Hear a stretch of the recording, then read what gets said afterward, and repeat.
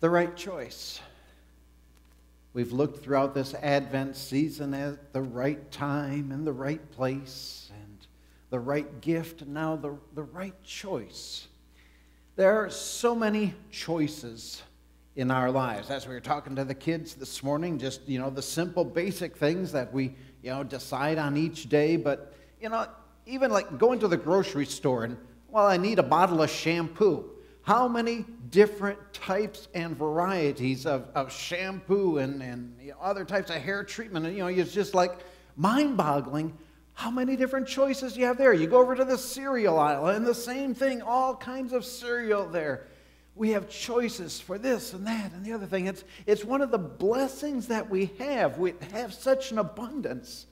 But sometimes choices can be paralyzing uh, as well. We just kind of get in this what do I choose? What do I choose? What do I do now? Today we're going to be looking at choices. How we make thousands of choices each day.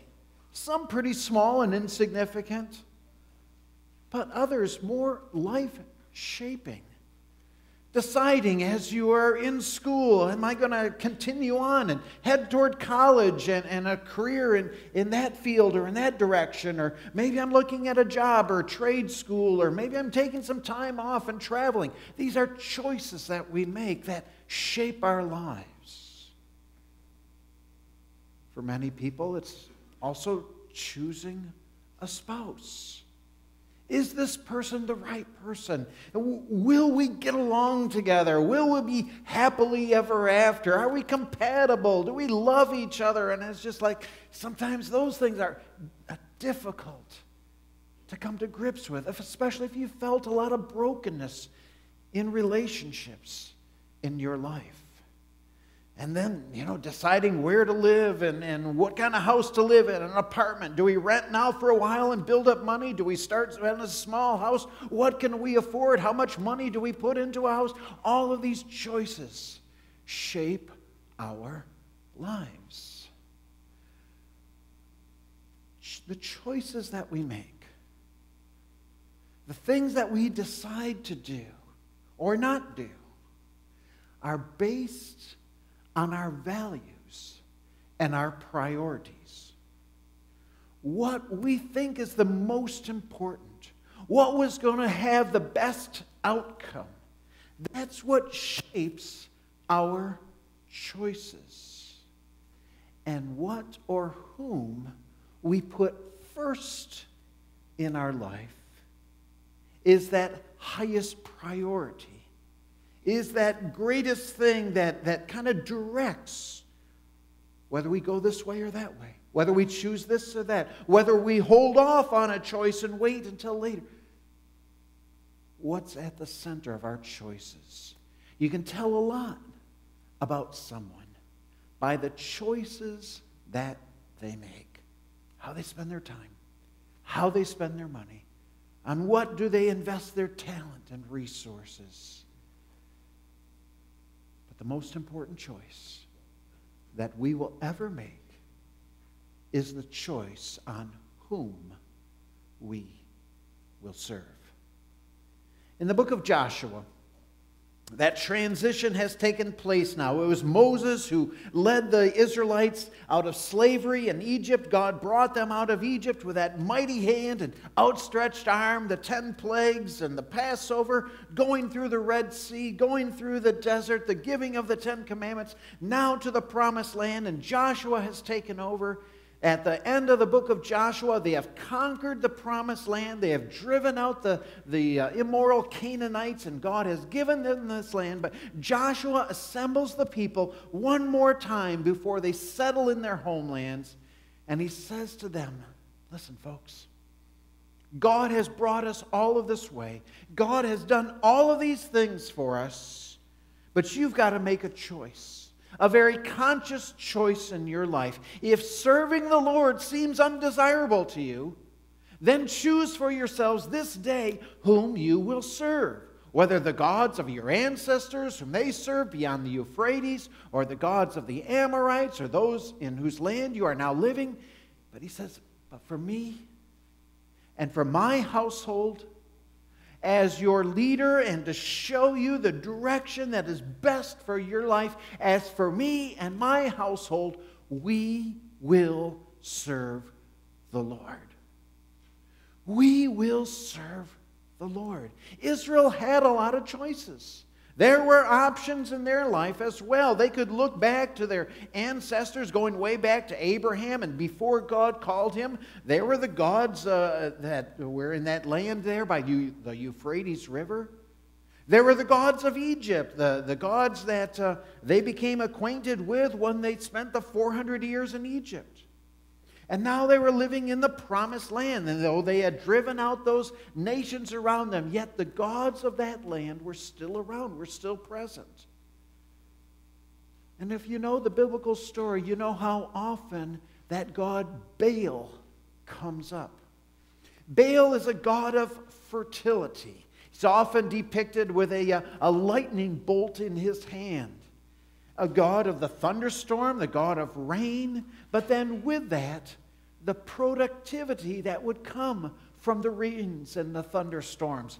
The, the wheat and the barley that would grow, they felt was a gift from God. And so they would pray to Baal God, send the rains. Send those fall rains, those spring rains, so that we can have a harvest, so that we can have bountiful food. Baal, hear us. Baal, be merciful to us. And they would offer up sacrifices to Baal so that those rains would come and the land would produce. You can see how important this was in their minds to serve the local gods because agriculture is local. If you don't get the rain, nothing grows for you. And starvation happens quickly. And that fertility also then extends to family having children, living a long life, being able to see your grandchildren and watch them grow. And so, Baal, the God of fertility, give us good health, give us many children, bless our family. And you know, is it really that much different for us? No, maybe we don't have some picture of a guy, you know, sitting on our living room mantle with a lightning bolt in his hand. But don't we often pray for prosperity, for good things to happen to our, in our lives, for there to be resources, to have good health, the health of children and, and grandchildren being born? I mean, we can understand what is behind that. Though their focus was on a foreign God, we all understand those needs and concerns. Joshua said to them, Don't be looking to Baal. Baal is not the true God. Though Baal is the local deity here, God, the God of heaven and earth, the God who created all, He is the one who holds these things in His hand. He is the one who came to your father, your forefather Abraham, called him out of that land of Ur the Chaldeans and brought him to this land, who spoke to him and said, Abraham, I will bless you. I will make your name great. You will have many descendants. You will settle in this land. Through you, Abraham, all peoples will be blessed. And then through Abraham, and then Isaac and Jacob, the 12 ch- children of Jacob, becoming the 12 tribes of Israel.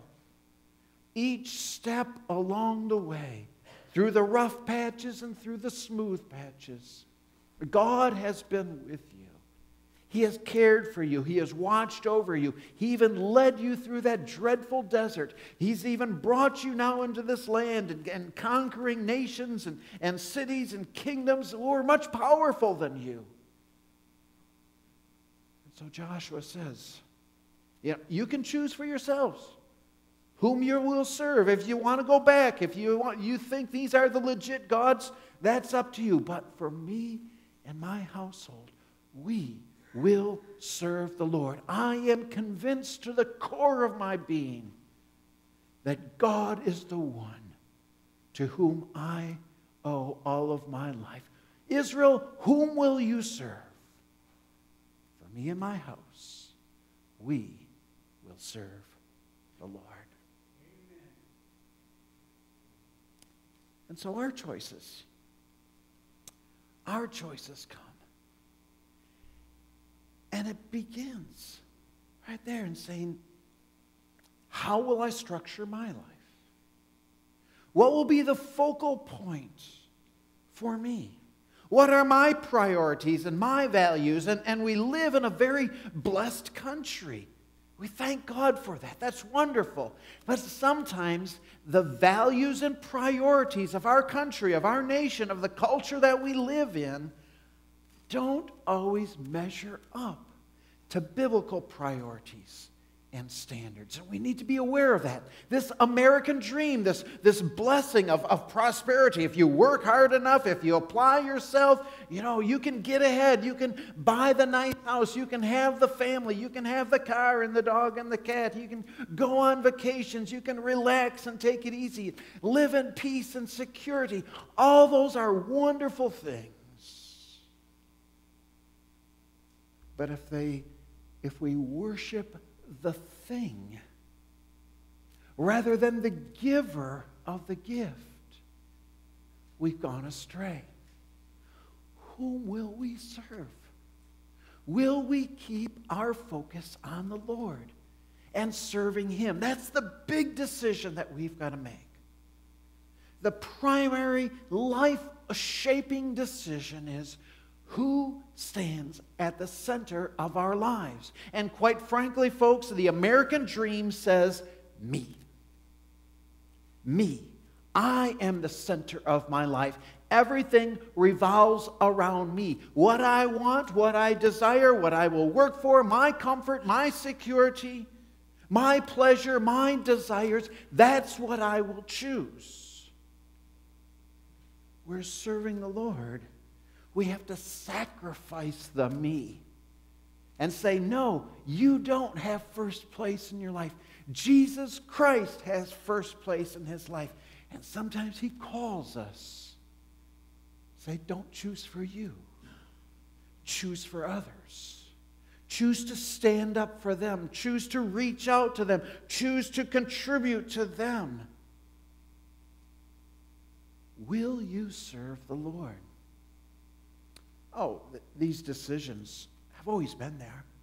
In the time of Elijah, many, many years after Joshua had, had made that stand, as for me and my household, we will serve the Lord. Now Elijah is there, and sure enough, the people still worshiped God. The temple service was still going on. Everything on the surface looked like it was all just fine. But in their hearts, the people were playing a double game. We would worship God at the temple, but on a day to day level, we would make sure that Baal has his due as well. It's kind of like covering your bases, you know? Make sure that you love and serve God, yes. But, you know, Baal may have a little influence too, and so we want to give him some due as well and trust in him. And Elijah says, How long will you waver between two opinions. And the word there's like, like dancing on, on, on two feet. Did you ever try to like country dance on one leg and, and, and break dance on the other leg? It just doesn't work, does it? You look pretty awkward. You look pretty stupid. I mean, I look pretty stupid when I dance anyway, but you know.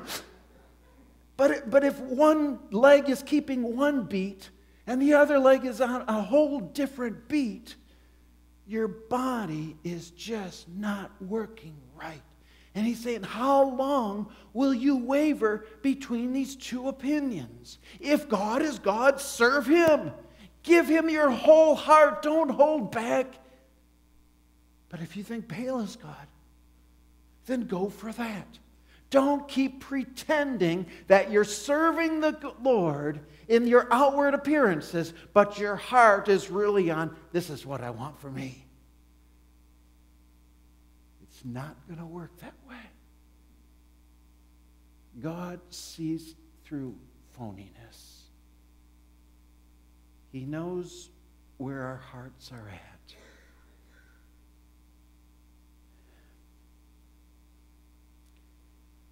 God wants to bless us, and God has blessed us with many things. That's good. But to me, this is where I find the danger for myself. I tend to put God's blessings before Him. In other words, I want the things. I want the health. I want the security. I, I want the resources. I want the comfort more than I want my relationship to God. In other words, I'll have a relationship, God, but it's in order to get the good that He can give me. And when those things start to get taken away or looking a little shaky or, or a little threatened, then I want, well, God, where are you? Where are you? What do you, you know, you're supposed to be blessing me. And that's a huge, huge danger for all of us who live in a blessed community.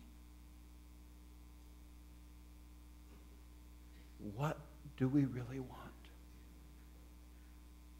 more about me, and God is the means to get more for me, then we're not putting God first in our lives. We're putting His blessings first. There's a danger of turning God's good gifts into our own gods. And you'll hear our politicians play on that. They will try to uh, arouse in you either fears or desires which appeal to you. And they'll say, if you elect me, that's what we'll work on. That's what we'll do. And try to draw us, you know, a strong economy or secure borders or, you know, whatever it may be, uh, you know, uh, prosperity for all. They're appealing to the me and it's so hard in our system to sort through all of that and to cut away the clutter and all the animosity and saying, God, what do you desire? And how do I make a decision as I cast my ballot and, and the priorities that I live by and the resources and how I use them? How do I put you first and firm, foremost? The daily choices that we make show, reveal what's really in our heart. How we use our money, how we use our time, how we use the things that God has given to us. Does God stand first? The little decisions add up to a lifetime commitment. And so you may be sitting here this morning saying, you know, Pastor Dave, I'm good, really. You know, I, I accepted Jesus Christ into my heart when I was a teenager, and, um, you know, I'm good. I'm going to heaven, all set. Awesome. I'm so glad that you've accepted Jesus as your Savior. But now the challenge for today is on a day to day level what does that look like? On a day to day level, in the choices that you make and how you spend your money, how you spend your time, how you treat other people, does it reveal in your life that you have accepted Jesus Christ as your Savior and your Lord? In other words, does He call the shots?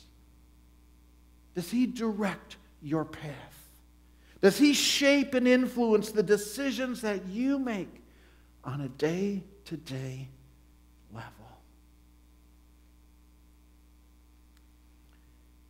Jesus said, Love the Lord your God with all of your heart, soul, mind, and strength.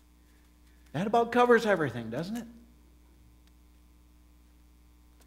And so, keeping that at, at the center of our lives, how do I love God in this situation? And you may choose one political party or you may choose another with, with reservations on either one. But how then will you demonstrate in that choice? This is how I love God. This is what I'm going to work for. How you use those resources. Is, is God at the center of that? Or is it more about me? Little decisions add up to a lifetime commitment. And Jesus challenged his disciples back when he was here on earth and at the dawn of 2019 as well. He says to each one of us, he called the crowd to him along with his disciples and said, Whoever wants to be my disciple must deny themselves. That's saying no to the big me in, in my life. Deny themselves, take up the cross. That is, be willing to suffer for the sake of Jesus Christ. Be willing to deny ourselves the things that, that we want for the benefit of others, for the, for the good of God's kingdom, and then follow Him. Follow Him, that our choices are aligned with His word, with His decisions, how He has revealed Himself to us. Because you may think by choosing for me, you're saving your life, you're getting a better life. But, friends, in the big picture, you're losing it. But whoever loses their life, that is, lays down their life, sacrifices their life for the good of Jesus Christ and for others, those are the people who truly find. Whoever loses their life for me and for the gospel will save it. Over Christmas time, I had a chance to connect with a friend. Friend from high school, someone who always had a drive to succeed. Never always did that great academically, but had this strong drive to succeed. Started a business after high school in the auto parts uh, supplier and, and was able to acquire more businesses and, and work things out in such a way that business grew. He was successful. He knew what he was doing. He, he could manage things in such a way that that business was growing and growing. Always busy, constantly busy, because his head was always in that business and saying, What can I do next? Thinking ahead, thinking about the changes in the market and, and, and being prepared for that. Just a, a, brilliant mind for business. And it, and it came out. He gained and he gained and he gained. The business grew and grew and grew. But it was a 24 7 kind of lifestyle for him. Yes, he was married, he had kids, but daddy was always working. Daddy was always gone. Or even if he was home, daddy's mind was always on business. He was always somewhere else, mentally or physically. And, you know, church was nice. He would show up occasionally. He was a professing member. But it didn't have a priority in his life. It always so much other stuff going on. Don't ask him to volunteer at church. Well, recently this friend found out he had cancer.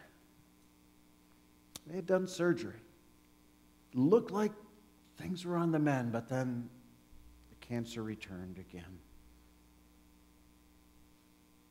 And as he is struggling with this right now, he said,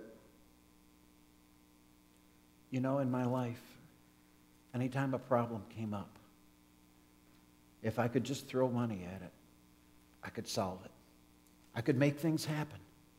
Money has that kind of power, it, it, it can buy you good things. But I'm beginning to realize now that there's a limit to what my money and my energy can do. This cancer thing, doctors are saying, we're, we're sorry. We've kind of run the end of the options for you. He's scared. He's scared. He's used to being in control, used to calling the shots, used to having things go his way, and now it's not. Just tried to acknowledge that with him. We talked together. I said I'd pray for him. Encouraged him to be thinking about Jesus. And who is Jesus in his life? Didn't try to shove it down his throat, but He's the one who's helped me through. He's the one who's given me so much, yes, but also even in those difficult places in my life. He was the solid rock to which I could turn back, turn back to when everything else was falling apart around me. I'm praying for my friend. I don't know what his time left will be. And it's so hard for him because, on the one hand, he's made a profession as a Christian, but yet never really surrendered his life to Jesus. Have you? Have you? the bottom of your outline, there's just a question. Whom will you serve?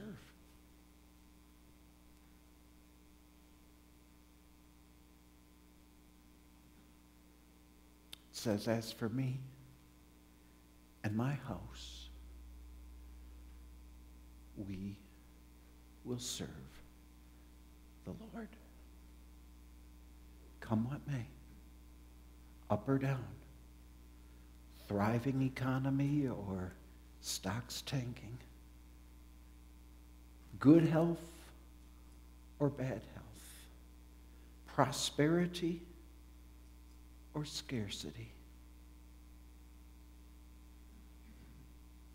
We will serve the Lord. And if that is your desire, to surrender yourself to Jesus Christ, then I encourage you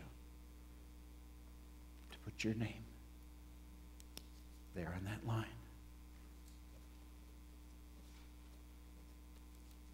To stick that in your Bible with today's date, December 30, 2018. And then every day, as you pull out that Bible, as I want to encourage you to do, there's that commitment. For all the day to day little decisions and the big picture decisions. As for me and my house, we will serve the Lord. Let's pray together. Lord Jesus, we've gone through this time of Christmas. We've seen how you have worked out so many things just in the right time and the right place. That you are the right gift. You are the Savior of the world. But today it really boils down to have we made that choice? That fundamental decision that we will serve you on a day by day decision by decision basis that you occupy center place in our lives. Thank you for being our Savior. We're so grateful for that. But now, today, we also want to say, You also are our Lord and King. Help us to follow this commitment each day. We can't do it on our own. But in your power and your strength, we can. In your name we pray. Amen.